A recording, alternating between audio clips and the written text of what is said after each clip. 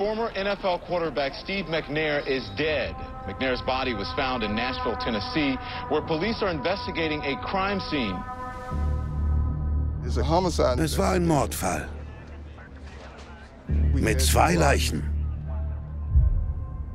Und es gab mehrere Personen, die wir zum Mord an Steve verhören wollten.